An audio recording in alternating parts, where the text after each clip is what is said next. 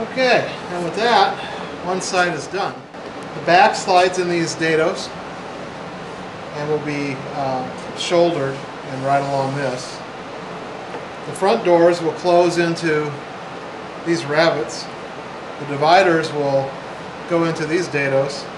And as we said at the beginning, the, uh, the dados in the back are at different heights. So we've got the back slides into the deepest one, and well, the back uh, groove, the tongue, slides into this groove, and then the rest of the back panel will, will ride here. The uh, drawer dividers will slip into these. Okay. That I uh, approach dovetails is to work on the tails first and then cut the pins. With through dovetails, they're, they're really fairly easy to do.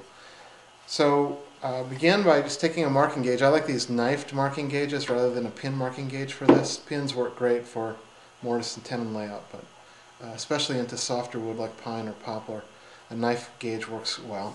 So set that knife gauge to be the thickness of your uh, side stock. And if you want to make it just slightly thicker, um, go ahead and do that. Then your pin will just extend out, or excuse me, your tail will just extend over a little bit, and it's real easy to clean up with a hand plane. Then uh,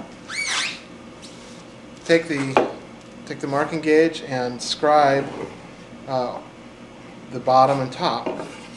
Scribe around all sides. Go ahead and do the top as well. Just cut such a nice line.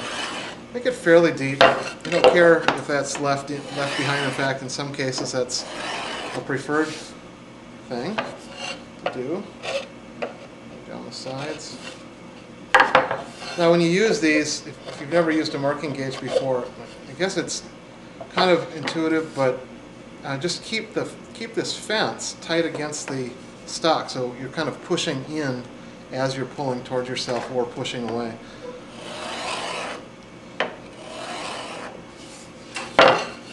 Easy to do.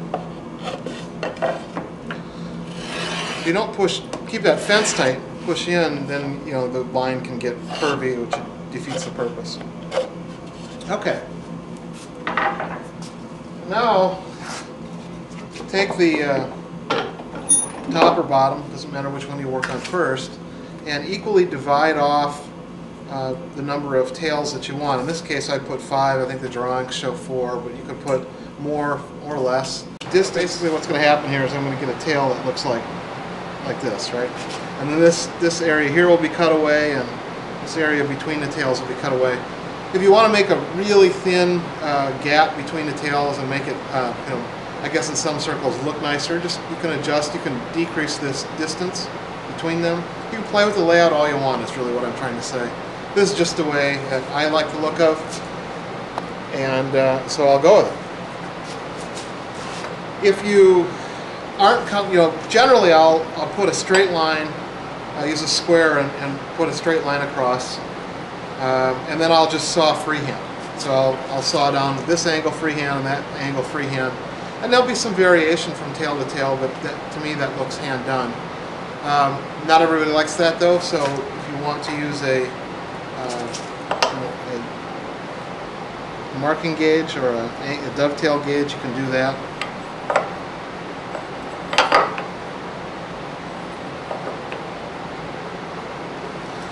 Um, in any case, the, the thing that you want to remember as you're sawing these is this angle isn't so critical, but staying parallel to this line on top is.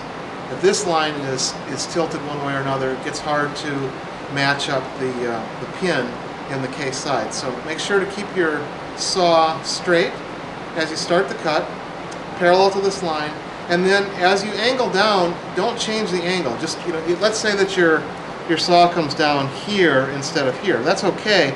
I'd rather have that than to see you try to curve the saw on the way down. That also gets hard to take care of later. So just uh, saw cut parallel to this and then straight at almost any angle. So I'll go ahead and cut a few and you can watch it.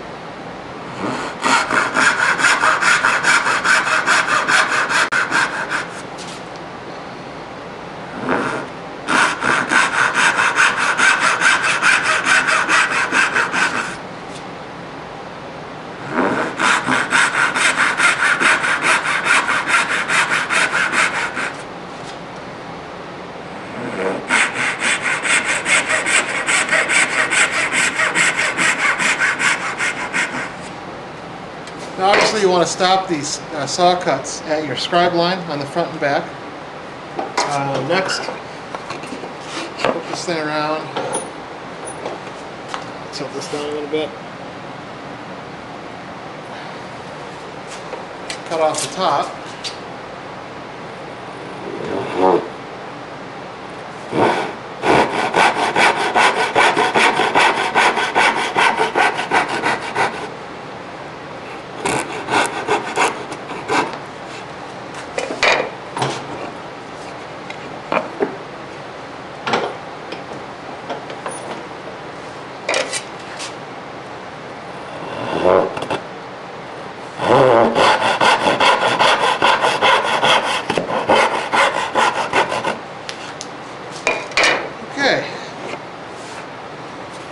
Repeat the same process on the other side. And then uh, we'll come back and uh, waste away the material in between the tails.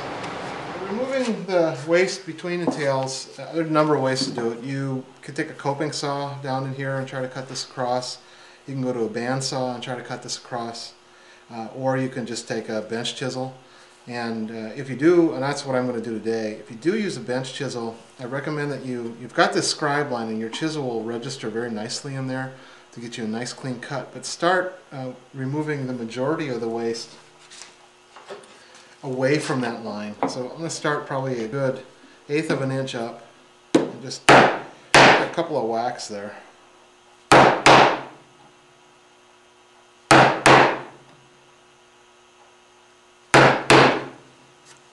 Usually they'll just pop out, especially in pine. Flip this over and come out the other side as well. There we go, so they start popping off.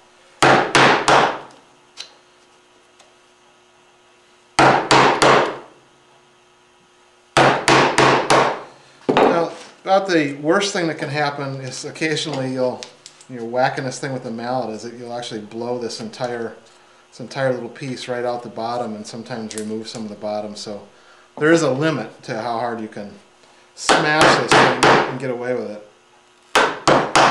But you'll you'll get a feel for it as you do a few of these